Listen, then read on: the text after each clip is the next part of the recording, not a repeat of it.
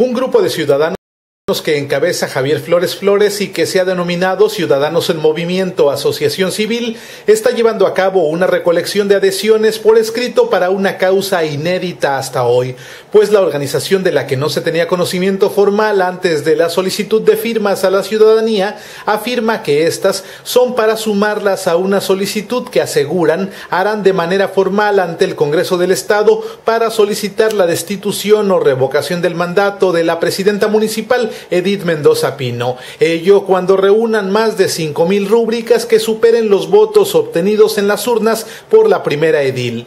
Atribuyen la motivación a un sinnúmero de errores y abusos de la presidencia municipal que aún no cuenta con 100 días de administración, pero que ha logrado ya en ese corto plazo enfrentamientos lo mismo con la mayoría del cabildo que con los trabajadores sindicalizados o no, con varios directivos destituidos, con empresarios y además con ciudadanos comunes. Precisamente a ellos se preguntó su opinión sobre el presunto movimiento y fueron los críticos a la presidencia más proclives a la opinión, pues quienes negaron su firma, a los que invitaban, también negaron su opinión pública sobre el tema.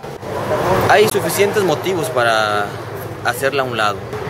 Una prueba es más que contundente. La señora no es de aquí, no sabe ni mandar, no sabe dar órdenes, no sabe nada y no, hay, muchos, muchas fuentes de empleo que se, están, se han estado cortando por la presidenta. Hay muchas cosas que la gente no está de acuerdo, ha remetido contra jóvenes, deportistas, mujeres, con la ciudadanía.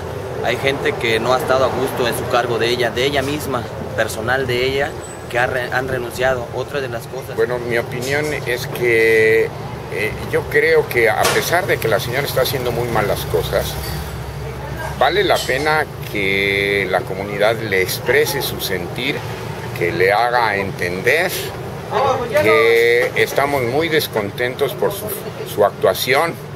Y eso no quiere decir que la actuación anterior estuvo bien. Fue eh, eh, el ah, periodo de la corrupción y del aprovechamiento del poder para enriquecerse.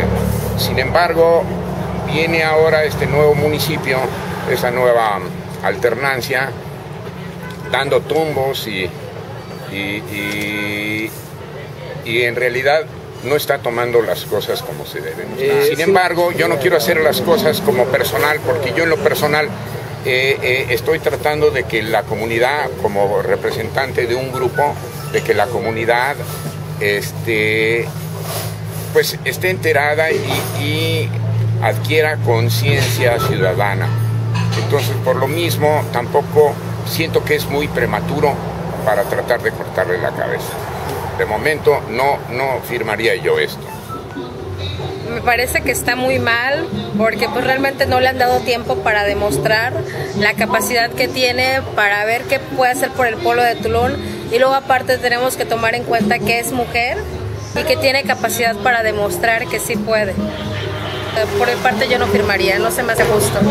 Consultados algunos abogados sobre el tema, hay plena coincidencia que el citado movimiento no tiene por ahora ninguna trascendencia legal, pero afirman que puede significar un importante precedente en Quintana Roo sobre un tema ya vigente en varios estados del país, que es la revocación de mandato, en este caso por iniciativa popular, que es uno de los puntos más comunes. Los otros son por plebiscito, referéndum y consulta popular. Al menos tres entidades federativas, Chihuahua, Tlaxcala y Distrito Federal, prevén en México la figura de revocación de mandato.